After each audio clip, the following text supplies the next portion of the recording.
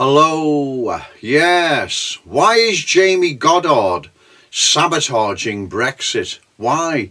Why is he doing what he's doing? I've been asking myself today why. There'll be a reason, but I'm not quite sure which one it is.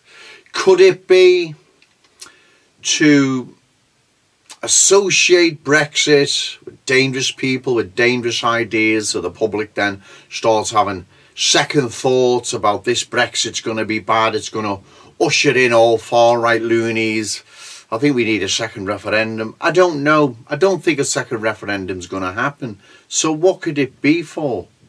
Could it be to persuade, intimidate, whichever's the right word, MPs not to vote for a no deal Brexit because it's going to empower these far right loonies?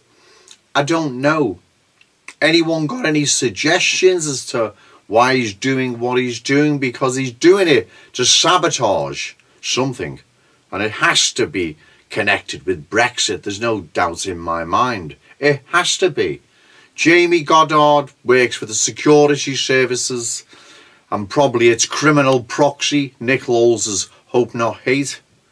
Um, and his aim is to damage, demonise, criminalise Brexit, uh, portray Brexiteers as dangerous people with dangerous ideas, thugs, hooligans. But why is he doing what he's doing? And as I've said, I don't really know. I've been thinking hard today.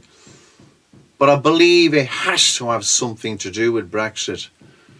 Like I've said, is it so people now get scared, get frightened, stop believing this Brexit was a bad idea. It's uh, ushered in all types of loonies, far-right cranks and extremists and without the European Union with no deal, what else could these people get up to and do? I, don't know. Or as I've said, intimidate, persuade, whichever's the right word, MPs to vote against a uh, no Brexit deal because again it's going to empower these far right loonies will have a fascist dictatorship? I honestly don't know. Any suggestions would be welcome. Nigel Farage, you know what's going on. Of course you do. You can see what's going on. That there are forces out there trying to stop Brexit.